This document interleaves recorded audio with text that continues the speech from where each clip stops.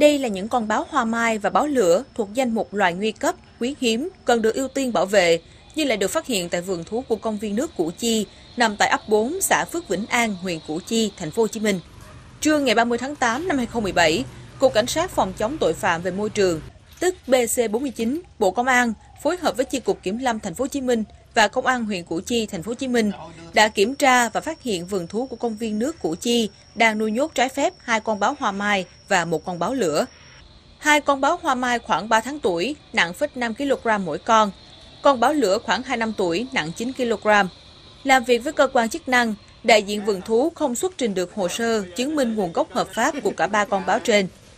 Chiều 30 tháng 8, tổ công tác đã tiến hành kiểm đếm thực tế các loại động vật hoang dã đang được nuôi nhốt tại vườn thú của công viên nước Củ Chi. Hiện C49 đã bàn giao hồ sơ liên quan đến vụ việc cho Công an huyện Củ Chi để cơ quan này điều tra, xử lý theo thẩm quyền.